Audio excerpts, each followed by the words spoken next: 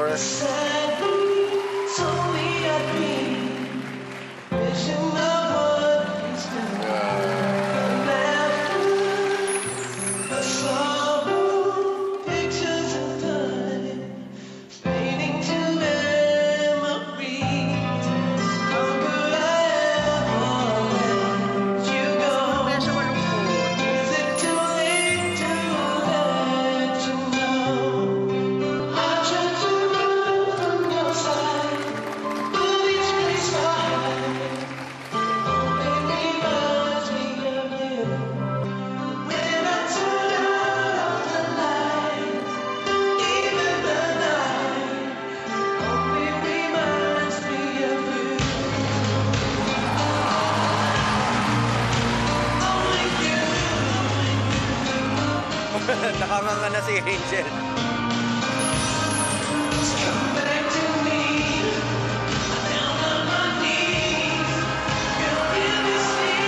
Galing nito.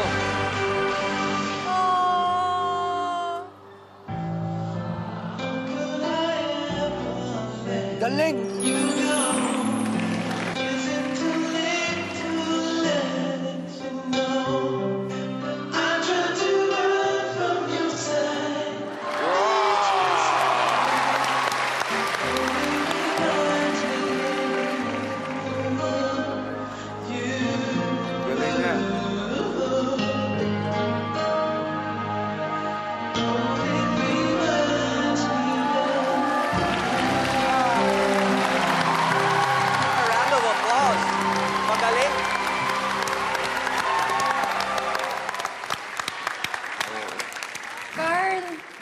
kwento sa likod ng performance mo?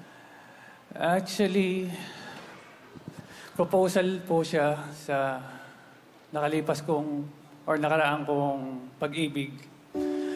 Kaso, hindi kami nagkatuluyan. So, at least kahit, Parang sa, si Vice. kahit sana dito, maipakita ko yung pagmamahal ko sa kanya.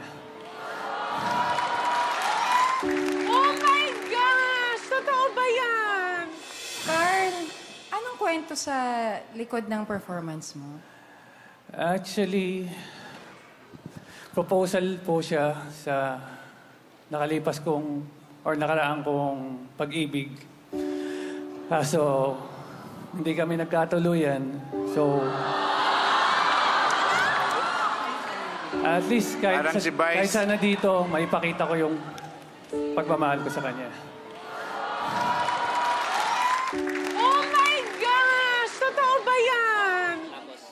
Meron akong taong minahal noon. Almost two years ang relationship namin. At unti-unti ko nararamdaman na nagiging cold na siya sa akin. Iba na yung tawag niya sa akin. Iba na yung pakikipag-usap niya sa akin. Naghiwalay kami.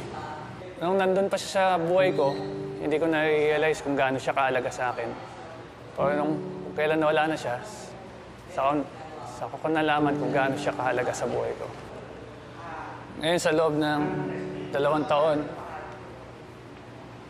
hindi pa rin ako nakaka-move sa kanya.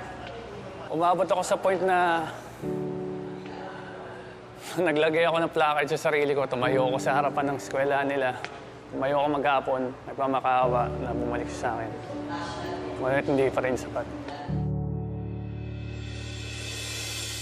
Kung sakaling nanonood siya ngayon at napanood niya to, meron ka pa bang gustong idagdag sabihin sa kanya? Kung sakaling nanonood ka man ngayon, um, ang gusto ko lang sabihin ay salamat.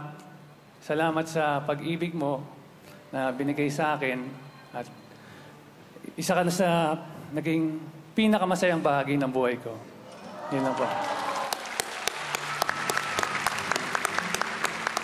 Nalungkot ako para sa'yo at the same time happy ako for you. Kahit di natin masagot yung tanong na bakit tayo iniiwan, at least masagot man lang natin yung tanong na bakit tayo kailangang magpatuloy.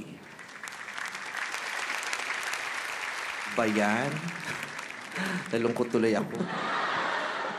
Masaya ako kanina eh.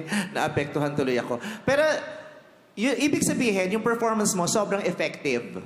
Sobrang effective siya kasi pumasok ka sa amin, hindi lang sa mata, kundi sa kalooban namin. Ako pagdating sa act mo, ang flawless ng emosyon. Ako artista ako, trabaho ko, magbasa ng emosyon ng ibang tao at nakuha mo ako doon. Hayop yung ginawa mo, pare. Alam mo, tuwan-tuwa ako pa nakakapanood ako ng pelikulang animation tas may halong tao sa loob. Ngayon, nakakita ako ng live. Galing nung ginawa mo, pare. Hayop. Talagang napatunayan mo mga Pilipino, masarap magmahal, pare. Tama ka Maraming salamat, Idol. Tama ka dyan. Ang ganda ng synchronization mo ng video and your live action. Uh, flawless, ang ganda. So, ngayon din ako nakakita ng ganyang act. So, I'm so impressed with your presentation. Sa susunod, gumawa ka na mas malaking screen, ha? But right now, it's a big yes. Thank you so much. sir. Kaya ka nagkakaganya ngayon at nasasaktan ka dahil nag-no siya sa'yo. Kaya gusto ko naman mag-yes sa'yo. Maraming maraming salamat din po. Gusto ko malaman kung anong purpose mo, bakit yan ang pinakita mong talent dito, sa- Pilipinas Got Talent.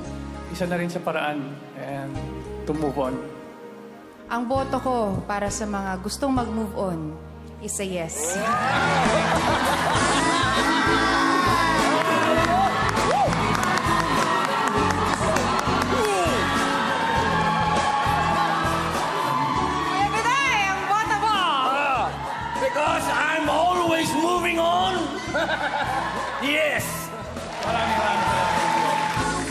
salamat. Pasok na pasok ka na. Meron kang apat na yeses. So, see you sa next round.